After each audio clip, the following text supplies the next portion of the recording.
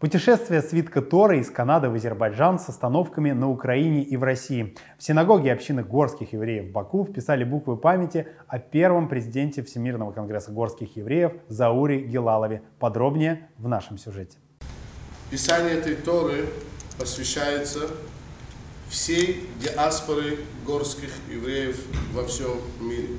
У горских евреев теперь есть свой свиток Торы. Буквы Сефер Тору начали вписывать на Пурим в общине Торонто. Продолжили в Днепре и Киеве. Главный раввин Киева и Украины Моше Асман вписал буквы в честь всех горских евреев Украины и президента Международного благотворительного фонда «Стмеги» Германа Захарьяева. Герман Захарьяев сделал праздник 26 яра, день спасения освобождения. Здесь в Анатевке скоро будет построена площадь 26 яра. Как раз мы пишем сейчас Тору в заслугу праведника Гавриэля Захарьяева, э, пишем букву в слове «Адам». Следующая остановка в российской столице. Рав Барлазар вписал буквы в честь представителей горской еврейской общины. Свиток «Путешественник» побывал в Ростове, Смоленске, в Баку и Кубе.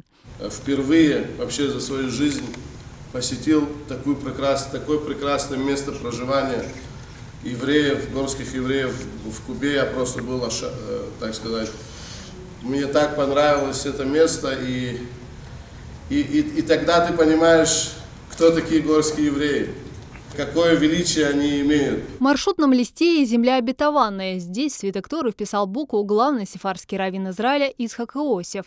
Сейчас свиток в Торонто. В этом году впервые здесь отметили 26 яра, День спасения и освобождения, и вписали еще несколько букв в память о жертвах Холокоста и ветеранов Великой Отечественной войны. Весь этот проект будет способствовать благословлению как нашей общины маленькой, так и всего еврейского народа, и приближит приход Машеха.